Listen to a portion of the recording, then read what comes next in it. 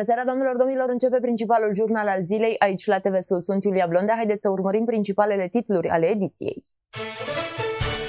Val de incendii de vegetație în județul Gorj, pompierii sunt în alertă și fac apel la populație să nu mai dea foc vegetației uscate. Pastilele cu iod au ajuns la DSP Gorj și urmează să ajungă la cetățenii județului. Detalii imediat în jurnal. Și festival la Tizmana, sute de oameni sunt așteptați să participe la evenimente la sfârșitul acestei săptămâni. Autoritățile de la nivel central au luat decizia de a distribui preventiv în toată țara pastile cu iod în cazul în care vom asista la un atac nuclear, lucru puțin probabil, susțin specialiștii. În județul Gorj, comprimatele sunt în depozitul Direcției de Sănătate Publică, iar după primirea instrucțiunilor de la minister, acestea vor fi împărțite medicilor de familie sau primăriilor. Cadrele medicale sunt revoltate și spun că medicamentele sunt nocive. Cât despre distribuirea acestora, medicii afirmă că activitatea lor va fi mult mult mai îngreunată. A început distribuția de iodură de potasiu în toată țara, comprimatele au ajuns și în Goj, la Direcția de Sănătate Publică. Conform reprezentanților DSP Goj, momentan instituția nu a primit și instrucțiunile pentru a cunoaște cum vor fi acestea date către populație. În cursul zilei de ieri, Direcția de Sănătate Publică Gorj a primit 478.000 de comprimate cu iod populației în cazul unui incident nuclear. Până în momentul de față nu am primit instrucțiuni vis-a-vis de repartizarea comprimatelor, însă ne așteptăm ca în perioada imediat următoare să fie clarificat și acest aspect. Ministrul Sănătății a declarat că aceste comprimate ar trebui direcționate către medicii de familie, iar aceștia să le distribuie ulterior populației, numai că doctorii nici nu vor să audă de așa ceva. Părerea mea este că este inutil. Toată treaba trebuia cu discret. La București, fabrica antibiotice a făcut cele 30 de milioane, se împart aceste 30 de milioane pe direcțiile sanitare, noi suntem chemați, sau suntem de vorbă, nu suntem chemați, că nu suntem la ordine. Noi suntem încă privați, dar văd că lumea uită chestia asta, că noi avem activitate privată. Eu lucrez în baza unui contract cu Casa de Asigurări. Tot ce mi se cere în plus este abuz. Dacă nu se face cu încuvințarea mea scrisă. Da, trecem peste asta pentru că din nou sunt reflexele din trecut care vin peste noi. Deci ar putea să fim anunțați în mod discret. Atenție, avem aceste tablete, vedeți cum le, pentru și ele trebuie ținute în anumite condiții. Vedeți cum le depozitați, nu le dați la oameni, nu aveți de ce, încercați să limitați și cu asta basta. E greu? Nu e greu, dar rog, rog pe această cale, pe cei care sunt răspunzători, să nu mai facă atâta știu, vorbărie pe tema acestei ioduri de potasiu, pentru că ne îngreunează enorm de mult Uh, activitatea care este absolut necesară celorlalți pacienți. Mai mult, medicii nici nu recomandă utilizarea acestor medicamente, considerându-le nocive pentru oameni. Nu, nu, a venit să-mi ceară, că au auzit ei că se dau, că... Și eu zic, nici n-am primit și nici nu v-aș da. Și le spun, până când nu va exista. Deci el se poate la preventiv, preventiv. Dar numai în situația în care există posibilitatea iodului radioactiv în atmosferă. Asta se, ă, acest iod radioactiv poate să apară în urma unei accident, unui accident nuclear sau, Doamne ferește, un război nuclear. Dar atunci, nu acum. Nu acum, înțelegeți? E foarte important, pentru că luat acum, dereglează tiroida. Oamenii nu au nevoie, mulți nu au nevoie. Chiar există, dacă știți, sare cu iod. Eu le spun, mă, fiți atenți. Întâi verificați-vă tiroida și după aceea luați sare cu iod vor să o ia în loc de iodură de potasiu. Deci, e complicat pentru că trebuie să explicăm niște lucruri și asta îmi răpește din timp, îmi răpește din, uh, din nervi. E greu, e greu. Lumea își facează că e ușor. Această educație, pentru că asta de fapt este o formă de educație, este îngrozitor de grea. Pentru că oamenii sunt speriați, oamenii sunt refractari la tot ce vine pe linie oficială, nu cred, și atunci? Județul Goj are circa 335 de cetățeni, iar la un calcul simplu, un cetățean ar putea primi o pastilă și jumătate de iod. Primarii înștiințează populația cum să se pregătească în cazul unei explozii în județele în care există obiective strategice de interes național, cum este la noi în Gor, spre exemplu, complexul energetic Oltenia. Edilii sunt puși de Inspectoratul pentru Situații de Urgență să informeze cetățenii cu privire la pericolul unei deflagrații. Deja primarul din Scoarța a postat un asemenea mesaj pe contul său de socializare, unde anunță oamenii ce trebuie să facă în cazul unei situații de urgență. În cazul unei explozii, efectele ar putea afecta populația pe o rază de 10 de kilometri pătrați. Pe acea rază, complexul energetic Oltenia, dacă vorbim despre județul nostru, ar trebui să asigure materiale de protecție locuitorilor care trăiesc în zonele apropiate carierelor și termocentralelor. Uh, atât acum cât și în perioada imediat uh, următoare, o să încercăm să aducem uh, în atenția unităților administrativ-teritoriale și a cetățenilor măsurile pe care trebuie să le respecte în cazul producerii oricărei situații de urgență. Ca să vorbim pe înțelesul uh, tuturor, această zonă de planificare la urgență reprezintă zona care ar putea fi afectată în cazul producerii unei situații de urgență. Dacă vorbim despre operatorii economici de pe raza județului, nu există un risc uh, major pentru cetățenii care sunt în afara acestor uh, arii ale operatorilor economici. Uh, sunt uh, prevederi legale, vorbesc despre hotărârea de guvern 501, vorbesc despre ordinul 59 și sunt stabilite la nivel național prin uh, Garda de Mediu, Inspectoratul pentru Situații de Urgență și alte instituții care au atribuții în acest domeniu. Autoritățile spun că această campanie de informare cu privire la pericolul unei explozii nu ar trebui să creeze panică printre oameni. Tocmai acela este rolul nostru, atât al instituțiilor care avem uh, atribuții în gestionarea acestor situații de urgență, cât și a dumneavoastră a mass mediei. Uh, nu trebuie să instalăm panica în rândul cetățenilor și trebuie să informăm corect. O informație incompletă duce la instalarea panicii. Tocmai de aceea informația uh, pe care am văzut-o este una incompletă. Trebuie ca cetățenii să știe când și cum trebuie să utilizeze aceste măști. Nu numai complexul energetic Oltenia este un obiectiv de interes național în județul Gorj. Și după această adresă, prefectul de Gorj pune tunurile pe reprezentanții ISU Gorj, fiind nemulțumiți de faptul că reprezentanții instituției au trimis către primăriile din județ adrese prin care cer instruirea populației în cazul unei explozii. Trimisul guvernului în teritoriu este de părere că oamenii au fost puși pe jar fără un motiv bine întemeiat. Marcel Iacobescu susține că populația este panicată deja pe fondul conflictului armat din țara vecină, iar aceste informații nu își aveau rostul acum. Printr-o adresă trimisă primarilor din județ, reprezentanții Sugorș le cereau edililor să informeze populația în cazul producerii unei deflagrații. Concret, pentru a evita pericolul, oamenii erau îndemnați să achiziționeze diferite tipuri de măști de protecție, care sunt destul de scumpe pe piață. Prefectul de Gorj susține că cei de la ISU nu trebuiau să agite populația și mai mult decât este acum când avem un război la graniță. Din punct de vedere al uh, comunicării, cred că a fost o greșeală din partea dumnealor și le-am spus acest lucru, să transmită această adresă care nu face decât să agite spiritele într-o perioadă în care nu ar trebui să aibă rezultatul ăsta.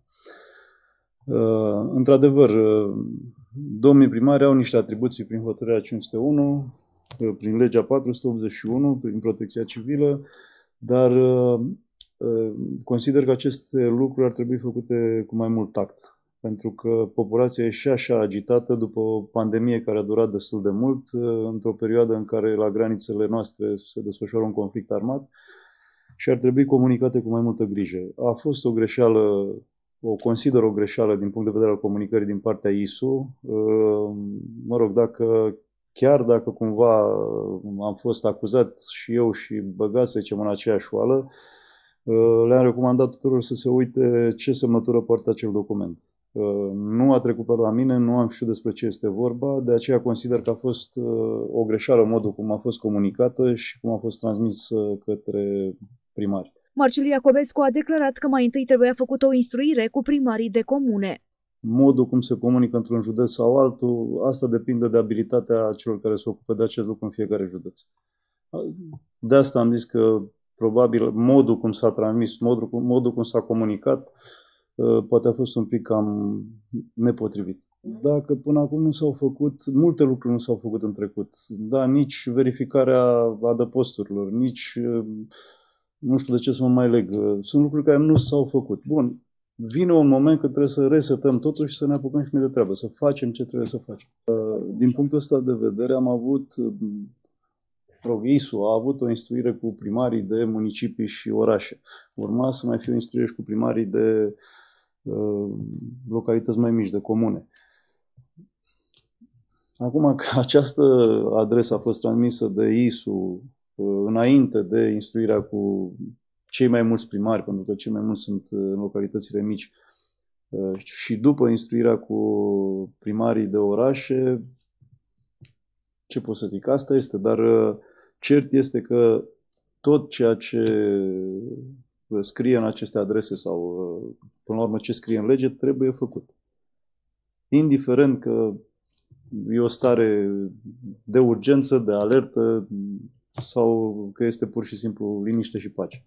Primarii din localitățile județului Goj au trimis mai multe informări către populație pentru a-și achiziționa măști pentru protecție civilă recomandate în caz de atac chimic. Cei de la ISO spun că măștile trebuie cumpărate doar preventiv și a îndemnat populația să nu se alarmeze. O astfel de mască ajunge la câteva sute de lei. Incendiile de vegetație par de neoprit în județul Gorj în numai 24 de ore. Pompierii au fost solicitați să intervină la peste 30 de incendii. Flăcările continuă să dea mari bătăi de cap salvatorilor și să pună în pericol populația. Numai într-o singură zi au ars sute de hectare de vegetație uscată, pădure și mărăciniș. Potrivit reprezentanților ISU Gorj, oamenii nu țin cont că se pot alege cu amenzi uriașe dacă pun foc la miriști. Sătui să intervină la zeci de incendii de vegetație în fiecare primăvară, pompierii din Gorj fac un apel la cetățeni după ce în doar 24 de ore au trebuit să intervină la numai puțin de 33 de incendii de vegetație uscată în tot județul. Plecările au cuprins câmpurile, dar și pădurile din mai multe localități. Pompierii spun că în ciuda controalelor, amenzilor și a semnalelor de alarmă trase de autorități, câmpurile continuă să ardă la Gorj. În ultimele 24 de ore, Inspectoratul pentru Situații de Urgență Gorj a intervenit pentru stingerea a 33 de incendii de vegetație uscată și mărăciniși izbucnite în mai multe localități ale județului. Câteva sute de hectare de vegetație uscată și mărăciniși au fost mistuite de flăcări, iar în unele localități focul s-a extins și la fondul forestier. Din fericire nu au existat victime, iar dacă focul nu a ajuns să cuprindă și locuințe, asta se datorează mobilizării exemplare a colegilor noștri, a serviciilor voluntare pentru situații de urgență constituite la nivelul unităților administrativ teritoriale și în unele cazuri a cetățenilor cu spirit civic. Cauza probabilă a izbucnirii acestor incendii este aceeași, utilizarea focului deschis pentru igienizarea terenurilor sau arderea resturilor vegetale. Facem încă o dată apel către cetățeni pentru a-i determina să renunțe la igienizarea terenurilor prin incendiere. Cetățenii trebuie să știe că arderile de vegetație sunt interzise, iar de respectarea prevederilor legale se sancționează cu amenzi de până la 2500 de lei. Majoritatea incendiilor de vegetație au drept cauză probabilă utilizarea focului deschis de către persoane care rămân neidentificate. Pompierii gorjenți spun că există reguli pentru arderea miriștilor și a vegetației uscate conform prevederilor legale în vigoare, arderea miriștilor, vegetații uscate și a resturilor vegetale se efectuează numai după obținerea permisului de lucru cu focul, document care se eliberează de către șeful serviciului voluntar pentru situații de urgență constituit la nivelul unităților uh, administrativ-teritoriale, a primăriilor, și cu respectarea unor reguli. Este interzisă utilizarea focului deschis în locuri cu pericol de incendiu, pe timp de vânt, de uscăciune avansată. Este interzisă utilizarea focului deschis la distanțe mai mici de 40 de metri față de locurile cu pericol de explozie și la distanțe mai mici de 10 metri față de materiale sau substanțe combustibile. Arderea resturilor vegetale, a gunoaielor, a deșeurilor sau altor materiale combustibile se face în locuri special amenajate, ori pe terenuri pregătite cu luarea tuturor măsurilor ce se impun pentru împiedicarea propagării focului la vecinătăți, asigurând în permanență supravegherea ardei. Arderea vegetației uscate și a resturilor vegetale se execută în condiții meteorologice fără vânt. Se colectează în grămezi vegetația uscată și a resturilor vegetale în cantități astfel încât arderea să poată fi controlată. Executarea arderii în zone care să nu permită propagarea focului la fondul forestier și să afecteze rețelele electrice de comunicații, conductele de transport gaze naturale, produse petroliere sau alte materiale combustibile. Se curăță suprafața în jurul grămezilor pe o distanță de 5 metri. Desfășurarea arderii se face numai numai pe timp de zi, cu asigurarea mijloacelor materiale pentru stingerea eventualelor incendii. După ce am efectuat arderea, se efectuează stingerea totală a focului înainte părăsirii aerii. Sunt aproape trei luni de incendii necontrolate pe terenurile agricole sau pajiștile județului, majoritatea puse intenționat pentru curățirea suprafețelor cu vegetație uscată. De la începutul anului și până în prezent au avut loc 339 de incendii de vegetație uscată. Primăria Bălești va fi gazda Cupei României la box. Primarul localității Mădălin Ungureanu este cel care a făcut anunțul. Competiția va avea loc la jumătatea lunii viitoare. Finala Cupei României la box pentru juniori va avea loc în Gorj, mai exact la Bălești. Primarul comunei spune că este mândru că această competiție se va desfășura în localitatea pe care o conduce. Pentru iubitorii sportului, aș vrea să le, pun, le supun atenția că în perioada 17-22 mai vom fi gazdele unei competiții extraordinare. Este vorba despre finala Cupei României la juniori pentru box suntem privilegiați că vom fi gazdele acestui frumos eveniment și țin să le mulțumesc uh, tuturor celor care s-au implicat pentru ca acest frumos eveniment să desfășoare pe raza Comunei Bălești, în special domnului președinte al AJF-ului, domnul Mihai Prunariu. La competiție vor fi prezenți campioni din toată țara. Vă dați seama că vor veni foarte mulți sportivi pentru că vorbim de o finală a Cupei României pe tot ce înseamnă nivel național pentru iubitorii sportului de box. Finala Cupei României la box se va desfășura în perioada 17-22 mai. După doi ani de pandemie, autoritățile locale din Tizmana au anunțat primul eveniment ce va fi organizat la sfârșitul acestei săptămâni. Festivalul Păstrăvului, o manifestare cu tradiții în localitate, va aduna sute de oameni la eveniment. Primarul uh, susține că vor fi pregătite 700 de porții de pește care vor fi împărțite celor prezenți la bălci. Primarul orașului Tizmana, Petre Remete, a anunțat că la Bălciul de bună vestire și-au anunțat prezența peste 150 de comercianți, un număr record. Cred că în jur de 150 până astăzi. Pe 25 va avea loc acest festival. Pe 25 vine, începând, deci, începând cu prima oră a dimineții, se va deja pe perioada întregii zile, muzică, bună dispoziție, primăria uh, va împărți acele porții, de păstrăv este și o sărbătoare în toate casele din Tizmana, având în vedere că e și dezlegarea la pește în postul Paștelui. E o sărbătoare frumoasă care tizmanenii o țin cu drag de ani de zile. Autoritățile au pregătit pentru vineri și un spectacol folcloric, dar și 700 de porții de păstrăv cu mămăliguță care vor fi împărțite celor care vor participa la eveniment.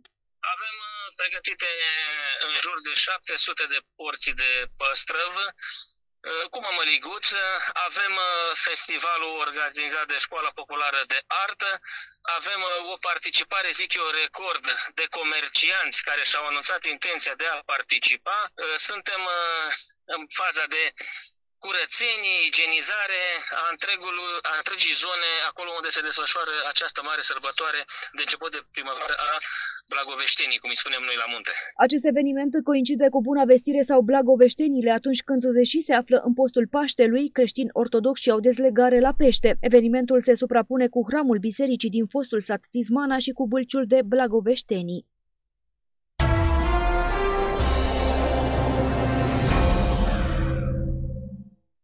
A fost alertă în județul Dolj după dispariția unui copil de 9 ani. Minorul a fugit de acasă după o ceartă cu părinții săi, care l-au pedepsit și i-au luat telefonul mobil. Copilul a fost căutat ori întregi de poliție, fiind găsit la 10 de kilometri de casă, în locuința unei tinere. Minorul a fost preluat de poliție și predat părinților. Copilul de 9 ani din Craiova, dat dispărută de către mama, a fost găsit în localitatea Ișalnița. Acesta era însoțit de către o femeie care, spun martorii, obișnuiește să cerșească în zona Pepco Craiovița. Surse din anchetă au menționat faptul că băiatul ar fi plecat de acasă după ce a fost certat de către familie, fiindu-i luat și telefonul mobil. În urma activităților de căutare, precum și activităților specifice desfășurate de polițiști în baza unei informații, polițiștii au reușit la scurt timp de la sesizarea dispariției, găsirea minorului în vârstă de 9 ani, plecat în această după amiază de la locuința sa din Craiova. Cu sprijinul polițiștilor din cadrul secției 1 Poliție Rurală Melinești, minorul a fost identificat de polițiști pe raza localității Șalnița la locuința unei tinere de 27 de ani cu care ar fi plecat din Craiova în după amiaza acestei zile, a menționat purtătorul de cuvânt al IPJ Dolj Mihaela Sadoveanu. În urma audierii minorului în prezența părinților și a unui reprezentant din cadrul DGASPC Gorji s-a stabilit că acesta nu a fost victima vreunei infracțiuni, fiind predat familiei.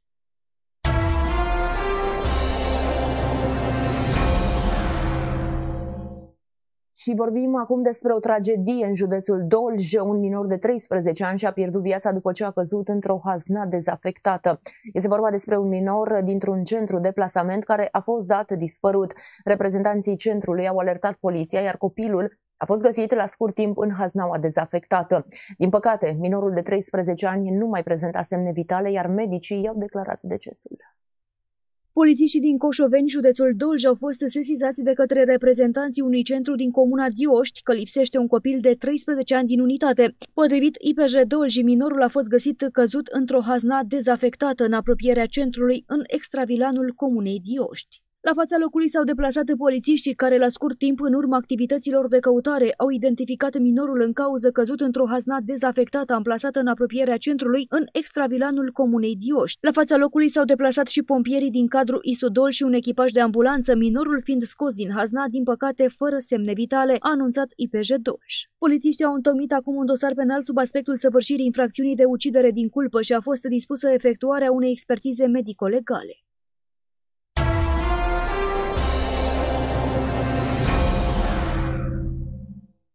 Doamnelor, domnilor, urmează acum o scurtă pauză de publicitate. Rămâneți însă alături de noi pentru că revenim imediat, evident, cu noi informații.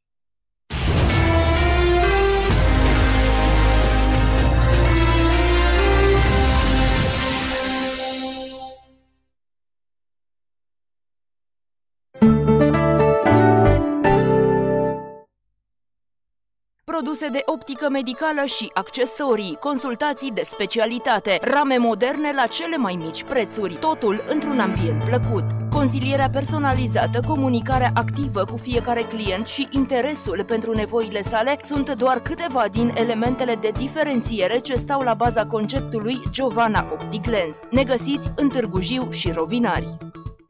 Poate că timpul trece, dar unele lucruri rămân mereu neschimbate. Stil, proiectat să dureze. Acum ai motoferestrăul MS231 la prețul recomandat de 1550 de lei, TVA inclus. În plus primești gratuit 10 litri de ulei Forest Plus. Ofertă valabilă până la 30 noiembrie în limita stocului disponibil. Pentru mai multe modele și oferte speciale de toamnă, planuri de vânzări în rate și condițiile de transport la domiciliu, vino în magazinele Eurosport din Târgu Jiu, Târgu Cărbunești, Motru și Novaci, București, Drobeta Turnu Severin, Strehaia și Baia de Aramă.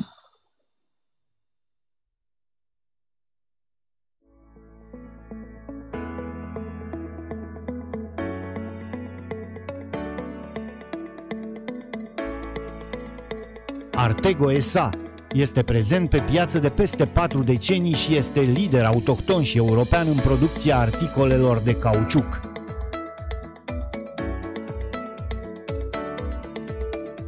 Peste 100 de tipuri de benzi transportoare și 150 de variante de plăci tehnice și covoare produse într-o singură fabrică, Artego.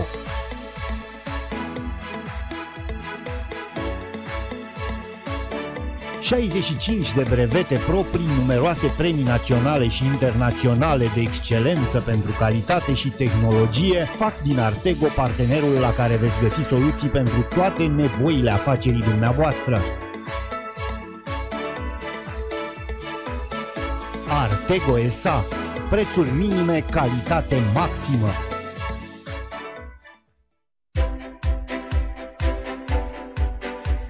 Hotel Dasiana, situat pe malul Jiului, la 200 de metri de parcul central Târgu Jiu și operele lui Brâncuș, la 500 de metri de centrul orașului.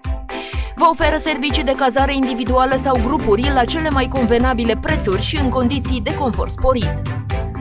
La noi găsiți 15 camere single, double, triple și apartamente recent renovate dotate cu aer condiționat, frigider, televizor și baie individuală.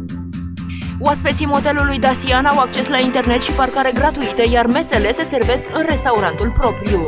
De asemenea, Daciana beneficiază și de o sală de evenimente cu o capacitate de 500 de locuri și sală de conferințe. Din luna iunie 2021 organizăm evenimente deosebite, nunți cu nunii civile, botezuri și majorate. Detalii la numărul de telefon 0727 887 581. Motel Daciana, strada Jiului numărul 4 din Târgu Jiu. Vă așteptăm cu drag!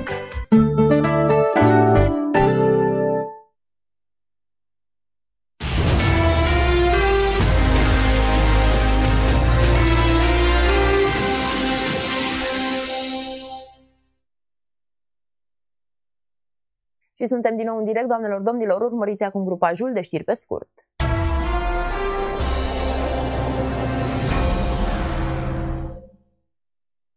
Președintele PNL Florin Câțu a anunțat că vrea comasarea alegerilor din 2024. Eu așa doresc, a spus el când a fost întrebat de ziariști în legătură cu acest lucru. În anul 2024 sunt programate patru rânduri de alegeri, europarlamentare, locale, parlamentare și prezidențiale. Fostul premier a susținut că există căi legale pentru comasarea alegerilor, deși o decizie CCR interzice această practică. Aleșilor locali le expiră mandatele la finalul lunii septembrie 2024, iar parlamentarilor în decembrie 2024. Florin Câțu susține că o astfel de variantă ar fi mai puțin costisitoare.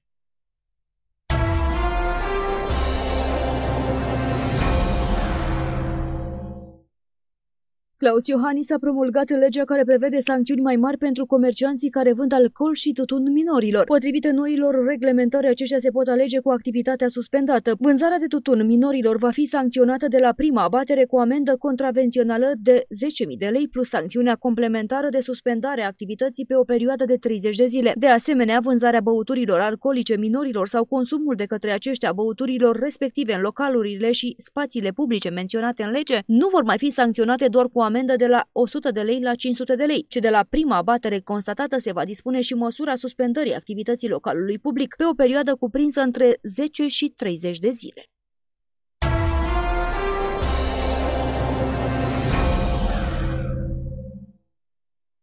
Sute de flori au fost plantate la Spitalul Județean de Urgență Târgu Jiu. Doi tineri antreprenori au donat peste 200 de flori Spitalul Județean de Urgență Târgu Jiu, plante ornamentale care vor aduce bucurie atât pacienților cât și angajaților unității medicale. Garofițele, năstureii și panseluțele au fost plantate în curtea Spitalului de la Pasarelă, în fața secției oncologie și în curtea Spitalului de pe strada Progresului, Spitalul 700. Sorin Otărășanu, antreprenorul din Țicleni care deține grădina cu flori și Vasile Hortopan de la SRL Curpen Stănești și-au arătat în acest fel aprecierea față de medicii și asistentele medicale de la Spitalul Județean de Urgență Târgu Jiu, dar și respectul față de pacienți. Sorin Otărășanu a fost cel care a și plantat peste 200 de flori alături de angajații ai Spitalului Județean de Urgență Târgu Jiu. Angajații Spitalului Județean de Urgență Târgu Jiu de la Serviciul Administrativ se ocupă în această perioadă și de toaletarea copacilor, curățarea și îngrijirea spațiilor verzi, amenajarea parcului din curtea Spitalului 700.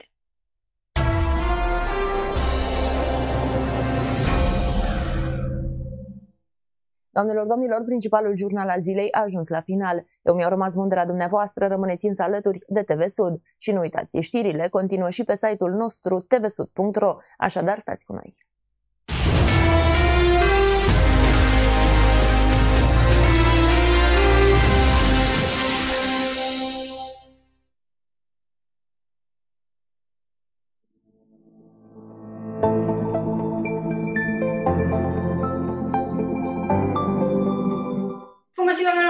Interviul uh, zilei. Uh, discutăm uh, cu Alina Toader, directorul Direcției de Protecție Socială din cadrul Primăriei Municipiului Târgu Jiu. Nu știu dacă am spus foarte bine titulatura, s-a schimbat... S-a schimbat, nu mai este Direcția Publică, dar este Direcția de Protecție Socială, așa cum bine a spus dumneavoastră. Uh, am vrea să discutăm cu dumneavoastră, în primul și în primul rând, despre acordarea acestor tichete. Da, despre tichetele sociale. Da. Uh, și anul acesta Primăria Municipiului Târgu Jiu vine în sprijinul oamenilor, acordând din nou tichete sociale. Le acordăm uh, cu ocazia celor două sărbători mari creștine de Paște și de Crăciun. Avem și pentru anul acesta prins în buget pentru număr de 3.000 de tichete. Valoarea unei tichete este de 50 de lei, valoarea nominală. Și se acordă acelor persoane sau familii care au venit de până la 530 de lei pe membru de familie. Deci ne adresăm tuturor cetățenilor din municipiul nostru care știu că se încadrează. Pot să vină să depună cererile până la data de 28 martie. Deci ar mai fi timp dacă dumneavoastră cumva nu au știut, cu toate că noi am mai anunțat și am afișat și am depus niște eforturi ca să știe oamenii că le putem acorda și anul acesta și că suntem mai să-i ajutăm. Deci până pe 28 martie da. pot să vină să depună actele? Să depună cererile. Noi am făcut și un formular de cerere, cum să zic, să, să venim în sprijinul oamenilor, pentru că poate de multe ori dumneavoastră um, pierd din vedere ce aspecte urmărim noi. Ne interesează partea de venituri, ne interesează partea de componența familiei, desigur să nu aibă bunuri sau, știu care conduc la excluderea posibilității de acordare a acestor tichete, adică să nu aibă mașini mai noi de 10 ani sau mai multe mașini sau teren peste 1000 de metri pătrați. Lucrurile astea le verificăm noi. Nu da. Cam aceleași condiții erau și la acordarea ajutorului uh, pentru încălzire. Mă gândesc că mulți da. cetățeni ai municipiului Târgu Jiu au beneficiat da. de acest uh, ajutor. Sigur că da, pentru că sunt etichete sociale și considerăm că este normal să acordăm aceste etichete persoanelor care chiar au nevoie și chiar nu își permit eu, să uh, aibă venituri le considerăm ca un venit în plus. Deci primăria vine în sprijinul dumnealor pentru sărbătorile pascale, încât oamenii să-și poată procura cele necesare mesei de Paște. Cum vă spuneam, perioada de depunere este până în 28 martie. Urmează noi să evaluăm cererile, să le analizăm, să dăm comanda pentru tichete și undeva în data de 13, 14, 15 să le putem da, aprilie, desigur, să le putem da oamenilor tichetele. Încât și dumneavoastră să aibă timp să le folosească, să-și cumpere ce au nevoie uh, ca documente, copia actelor de identitate și actele de venituri, pentru că partea aceasta de verificare o facem noi uh, prin uh, intermediul instituțiilor cu care lucrăm și cu finanțele și cu direcția noastră de, de, de la gara, unde se plătesc impozite, acolo noi verificăm să nu aibă aceste bunuri despre care vă vorbeam mai înainte. Deci nu trebuie foarte multe acte la dosar până... Nu. Nu, Încercăm să-i ajutăm și să simplificăm procedura aceasta. În plus de cetățenii cărora le acordăm tichetele în baza cererii, uh, în mod automat acordăm aceste etichete și celor care avem în evidență la uh, venitul minim garantat, deci beneficiarii de ajutor social și celor care beneficiază de alocație de susținere la familie. Acolo dumneavoastră nu trebuie să facă niciun fel de cerere, pur și simplu faptul că avem în evidență. Ne ajută și le acordăm tichetele astea în mod automat. Uh, o veste foarte bună s-au redeschis uh, cluburile vârstnicilor din municipiul Târgu Jiu. Da, o veste așteptată și de noi și de dumnealor, pentru că și în perioada aceasta de cât a fost suspendată activitatea, oamenii ar fi, și-ar fi dorit să socializeze, dar pentru că trebuia să respectăm și noi și dumnealor acele restricții impuse, într-adevăr, acum s-au bucurat. Poate și faptul că, știu eu, au posibilitatea să socializeze, să vorbească, să-și povestească. Îi ajută mult pe personalul din municipiul nostru. Acum văd că și vremea ține cu dumnealor, pot să vină la club. Și într-adevăr am deschis toate cele patru cluburi în uh, perioada în care a fost suspendată activitatea. Uh, ca în fiecare an de altfel, la cluburi am primit cererile pentru încălzire. Da. da. De obicei, dumnealor, o să zic așa, acceptau ideea că trebuie să organizăm și această activitate, dar acum chiar fiind activitatea suspendată, nu a fost nicio problemă. Au înțeles oamenii că nu pot să vină la club și n-au venit. Acum ne bucurăm că totul s-a deschis, sperăm să, să mergem înainte. Activitatea de la Casa Iris, ce ne puteți spune, doamna directoare, despre ea? La Casa Iris avem cam aceiași beneficiari, pentru că este foarte greu ca cineva să ne gândim că dacă a ajuns în stradă, ar mai putea să-și obțină o locuință dumneavoastră proprie. Cam aceiași oameni și avem oameni bătrâni, avem uh, persoane cu diverse afecțiuni care urmează și tratamente medicale, avem și asistent acolo, avem și infirmieră. Colegele mele fac eforturi deosebite, merg și sâmbătă și duminica și le, îi supraveghează să-și ia medicamentele pe care trebuie să-și ia pentru că de multe ori nu și le iau și nu să aibă probleme și din acest punct de vedere. Așa cum vă spuneam că e sâmbătă, că e duminică, colegele mele merg și stau lângă dumneavoastră până și-au medicamentele. Am avut și situații în care nu au vrut să-și iau medicamentele, pentru că vorbim despre oameni care nu-și pot avea grijă singuri de ei, de aceea și poate au ajuns în stradă. Da, și depunem toate eforturile să fie bine. Să fie bine, să-i ajutăm. Perioada aceasta nici n-a fost iarna foarte grea. N-am avut din exterior mulți oameni veniți din alte părți. Sunt cei pe care cam știm și pe care îi ajutăm în mod în fiecare zi. Beneficiarii la cantina socială? Avem și acolo. Avem un număr de 67 de persoane care primesc masă de la noi, primesc masa de prânz și masa de seară. Acum, cu creșterea prețurilor, dă seama că este un benefic pentru toată lumea să primească o masă gratuită. Avem doar trei persoane care plătesc o contribuție, pentru că dacă depășesc nivelul venitului uh, minim garantat la o persoană, trebuie să plătească 30%. Pentru că trei, trei astfel de persoane. Mâncarea este bună, oamenii vin și ridică mâncarea, nu mai mănânc aici, merg și o duc acasă, de obicei au copii, și au porțile și le duc acasă. Am înțeles. Iată că aveți foarte multe, foarte multe activități. Uh, alimentele, produsele de la Uniunea Europeană le-ați distribuit, a fost o perioadă destul de aglomerată pentru dumneavoastră? Da, da, da, așa este. Am avut în septembrie. Uh, am primit acele alimente de la Uniunea Europeană destinate celor categoriilor prevăzute de lege, adică beneficiarii de ajutor și de la alocație de susținere a familiei, iar excedentul se putea acorda altor categorii aflate în situații dificile de viață și ne-am orientat noi către persoanele cu handicap. Uh, începând cu februarie, am primit și de la alte primării excedentul pe care dumneavoastră nu l-au putut distribui. Noi ne-am bucurat că ne-au adus aceste alimente în plus, încât am putut să intervenim pentru mai multe dintre aceste persoane cu handicap care nu au reușit să ia în prima, deci, în prima da, tranșă. Da, prima tranșă, pentru că persoane cu handicap la nivelul municipiului Târgu Jiu, cu handicap grav și accentuat, sunt trei. Ori noi am avut un excedent de produse de 600 mm. de pachete. Cu cele pe care le-am primit, primit undeva la 1285 de pachete în plus, zic că am reușit să acoperim cât mai mult din, această, din acest segment al populației. Au rămas să ne mai vin alimente din informațiile pe care le avem, să mai vină o tranșă de alimente undeva la sfârșitul lunii aprilie, începutul lunii mai, încă nu mi s-a comunicat o dată exactă.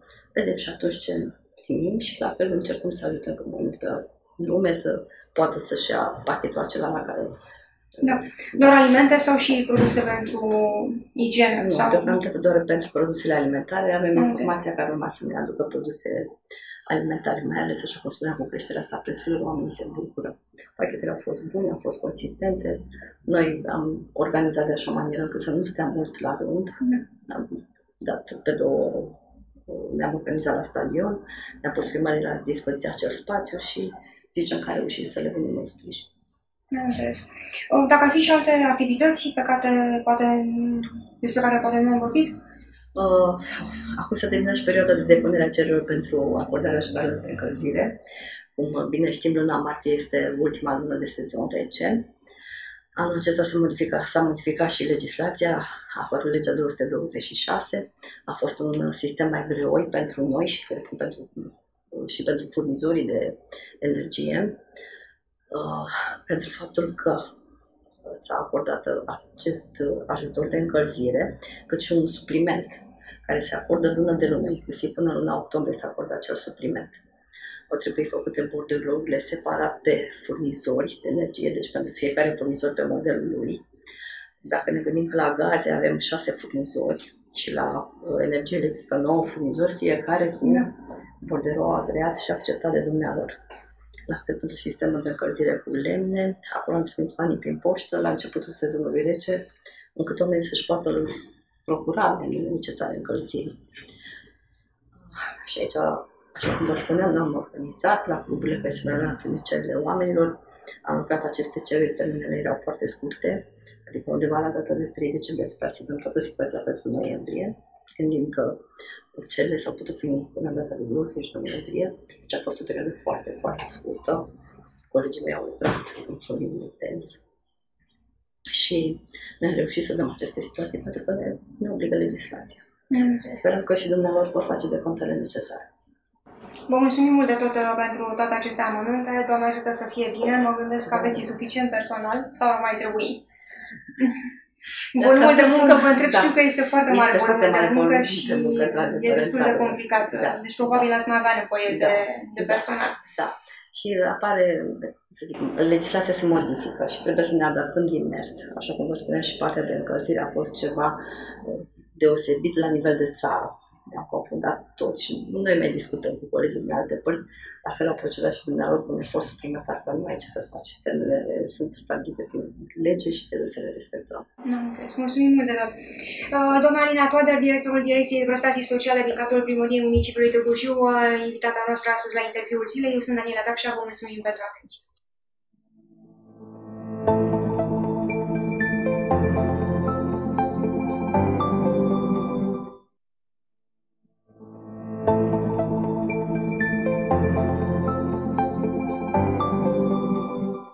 Găsit, doamnelor și domnilor, la ediția emisiunii de astăzi, interviul zilei.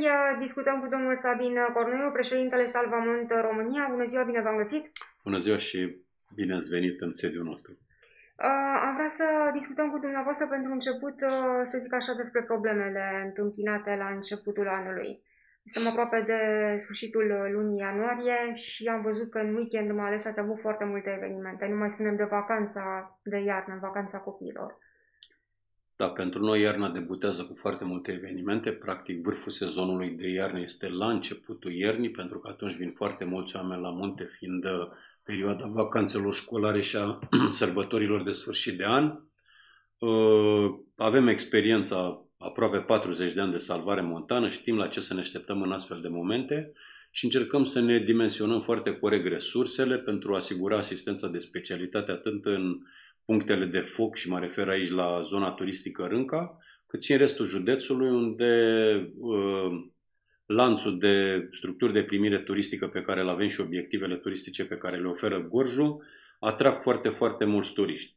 Și uh, pe, în această perioadă am lucrat în baza din Târgu Jiu, unde ne aflăm acum uh, cu salvatori în două schimburi, două schimburi de zi, schimbul de noapte fiind uh, asigurat cu Uh, echipă operativă aflată la domiciliu, iar în Rânca am asigurat 24 de ore din 24 cu echipe de 6-12 salvatori pe zi. Uh, Rânca are o întindere foarte mare ca și stațiune, are aproape 17 km de rețea de drumuri interne, uh, foarte multe structuri de primire turistică, foarte multe posibilități de agrement și e clar, în clipa în care ai 5-10 de oameni pe zi, te poți aștepta și la evenimente. Răspundem uh, uh, la toate evenimentele produse în uh, zona stațiunii și în zona montană, atât pentru cei care practică sporturile montane, cât și pentru cei care se află în stațiune și au acele au parte de acele accidente casnice, cum le numim noi. Deci, practic, oameni din cabană, nu știu, se accidentează, se taie cei de la bucătărie într-un cuțit, alunecă pe gheață, le pică zăpadă de pe cabană, au probleme uh, medicale datorită stării de sănătate afectată de consum de mâncare, consum de băutură, consum de substanțe interzise și atunci uh, noi trebuie să acționăm și în aceste situații ca echipă de prim răspuns. Sunt foarte multe astfel de situații, uh, unele foarte grave. Avem șansa că în stațiune funcționează un cabinet medical în cadrul bazei noastre de salvare, Uh, e deservit de salvator montan care sunt și paramedici și avem la dispoziție inclusiv o ambulanță medicalizată cu care transportăm pacienți. Uh, chiar dacă de fiecare dată, mă gândesc că în toate interviurile ați făcut uh, foarte multe apeluri către cei care merg la munte. Sunt multe persoane care, din păcate, încă urcă neechipați. Sunt acele persoane care zic, hai, mă duc două, trei ore la munte, la Rânca sau în alte stațiuni și se întâmplă nenorocirile care se întâmplă.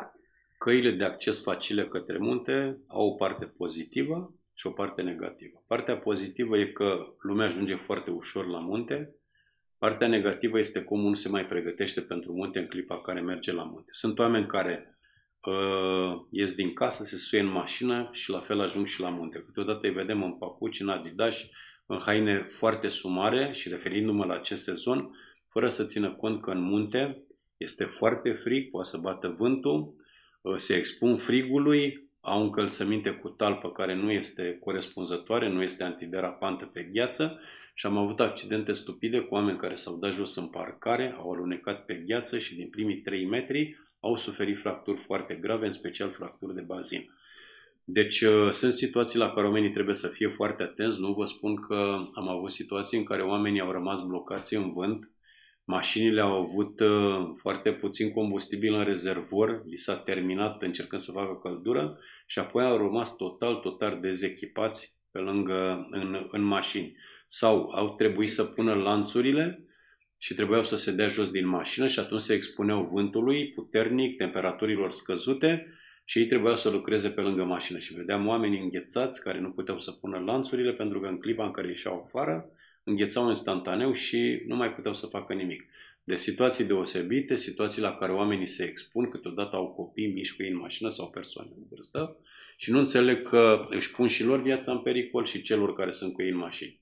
Iar odată ajunși în stațiune, cu siguranță îi vedem pe pârtie, îi vedem la săniuși, îmbrăcați sumar, îmbrăcați necorespunzător, ne uităm la ei ca la potențiale victime, dar nu poți să le spui nimic Uh, pentru că dacă le spui, câteodată unii au o atitudine negativă și spun, băi, toate hainele tale de pe tine nu fac cât tricoul ăsta al meu, că e luat de la nu știu ce firmă și așa mai departe. Dar uh, asta e, suntem acolo, nu judecăm oamenii, noi alegem, noi salvăm tot ce se întâmplă, acordăm prim ajutor tuturor celor care au nevoie de noi și uh, ne bucurăm că avem un grad de răspuns de 100% la toate evenimentele. Aveți un grad de răspuns 100% la toate evenimentele. Spuneați puțin mai devreme că ați lucrat în două ture cu salvatorii montani. Uh, există posibilitatea ca în timp să mai faceți angajări? Mă gândesc că aveți și foarte mulți voluntari. E, mi-aș dori să mai pot să fac angajări. Nu, din păcate nu avem foarte mulți voluntari. Nu? În acest moment avem trei voluntari care în luna martie vor termina stagiul de pregătire. Pregătirea unui salvator montan conform legii durează 2 ani de zile timp în care faci un număr de ore într-un centru acreditat de formare profesională și noi la Gorj avem un astfel de centru în cadrul structurii Salvamont, apoi merg la evaluările naționale, să sperăm că acești trei oameni vor uh, parcurge uh, ultima etapă a stagiului și vor absolvi examenele naționale și după aceea vom vedea cum uh, îi vom angaja, dar cu siguranță la sprijinul pe care îl avem din partea Consiliului Județean și care este alături întotdeauna de noi, ne știu problemele și analizăm împreună toate această evoluție a turismului și accidentelor în zona montană și n-aș vrea să fiu corect pentru că nu sunt numai accidente produse cu turiști, noi intervenim la absolut toată lumea care merge pe munte, fie că e culegător de fructe, fie că paște animalele pe munte, fie că merge la exploatat, exploatare forestieră sau e vânător, pădurar și așa mai departe. Suntem alături de ei, Consiliul este alături de noi și să sperăm că vom reuși să ne dimensionăm corect întotdeauna resursele. Din păcate, după acești trei voluntari, nu mai avem absolut nicio persoană înscrisă în stagiul de voluntariat. Ă, activitatea este foarte atractivă la prima vedere, dar în clipa în care îi descoperi adevărata esență, foarte mulți renunță.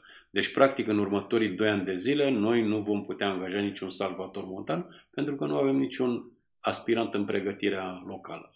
Să sperăm că vom reuși să atragem oameni. În acest moment, sau până acum o lună de zile, am avut doi oameni angajați din Valea Jiului, care veneau și făceau naveta la servicii aici. În acest moment mai avem decât unul.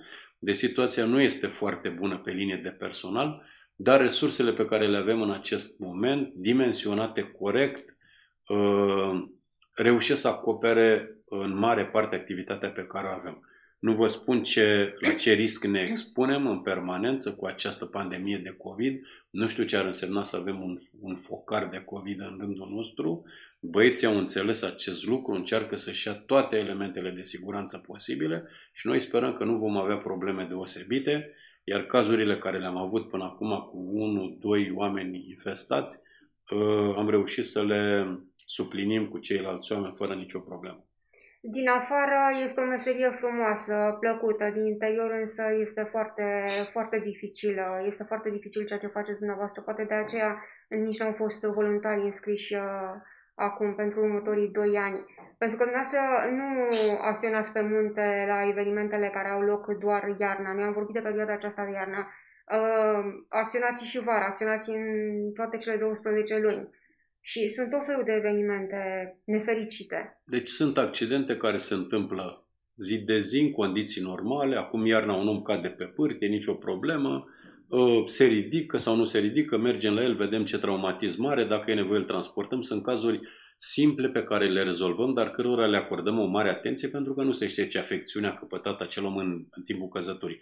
Dar sunt cazuri în care pleci noaptea de acasă, te duci pe vânt, pe viscol, în cele mai grele condiții, ajungi acolo, găsești un om prăbușit de pe stânci în care, care poate e o masă de carne uh, pe care abia, abia îți dai seama că mai e un om, dar în care bate o inimă și atunci tu trebuie să-l salvezi. Și sunt oameni care spun, dar de ce să merg eu noaptea pe munte, pe viscol, ce treabă am, de ce să nu găsesc un post călduț?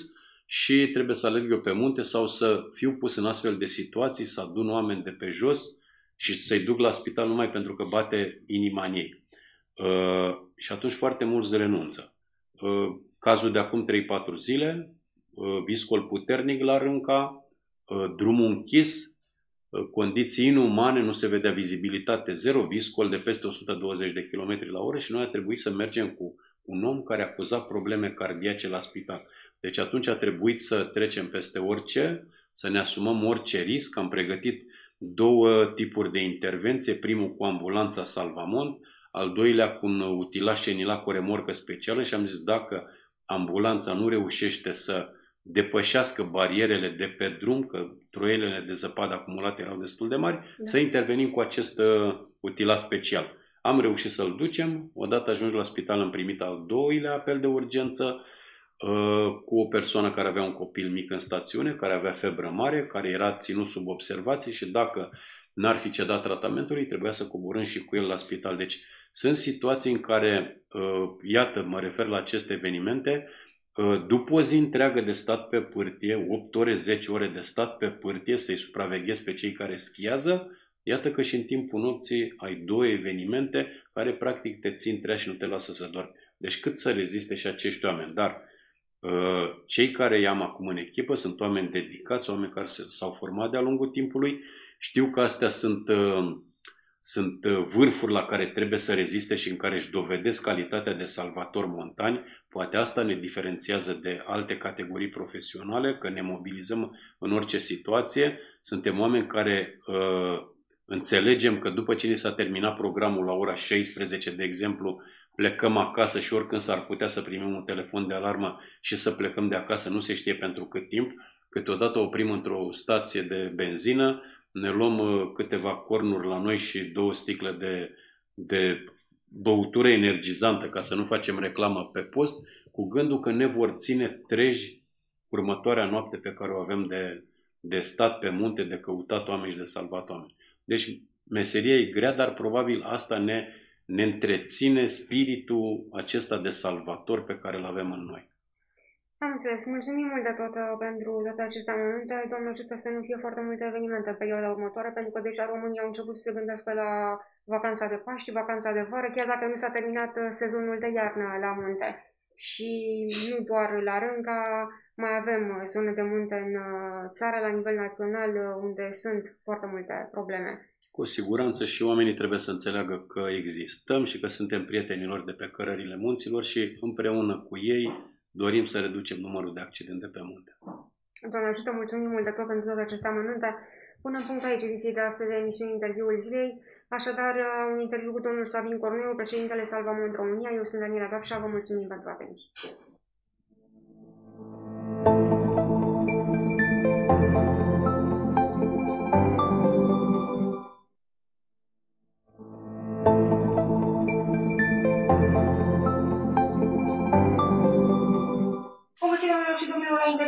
Zilei discutăm cu domnul Ion Băluță, șeful Poliției Locale Târgu Jiu. Bună ziua, bine v-am găsit! Bună ziua, bine ați venit! Vrem să vorbim cu dumneavoastră, să aflăm de la dumneavoastră care sunt principalele acțiuni uh, din această perioadă.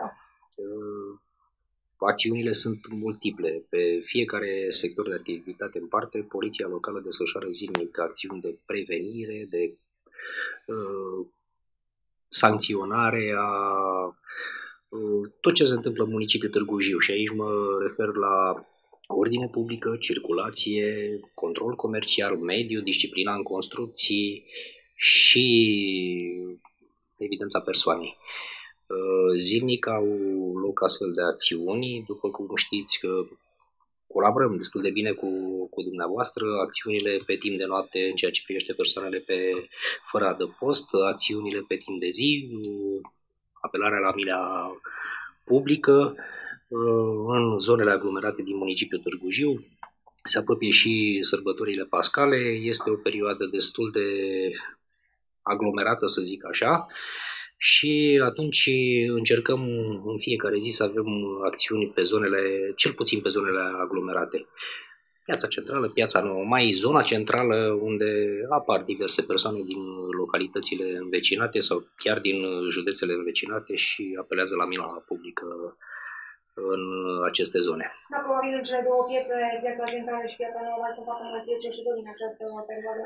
Sunt, din păcate, numărul lor este în creștere. Noi să știți că zilnic avem astfel de acțiuni și îi trimite către localitățile de domiciliu și sancționăm acolo unde este cazul.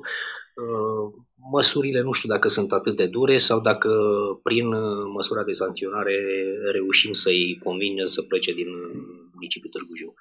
Nu, însă trebuie să ne facem treaba, trebuie să fim în permanență acolo și eu zic că trebuie să stăpânim fenomenul, să-l ținem sub control cât de cât. Am înțeles, vorbați la început de acțiunile pe mediu. Foarte mulți locuitori din municipiul de Buzău au început curățenia pe primăvară. Da. Dau foc, ard anumite resturi da, din, în special resturi de vegetație. Încă din luna trecută au început astfel de acțiuni, zilnic avem constatări, verificări și sancționări pe, sancționări pe această temă. Într-adevăr, pe lângă resturile provenite din colectarea pomilor,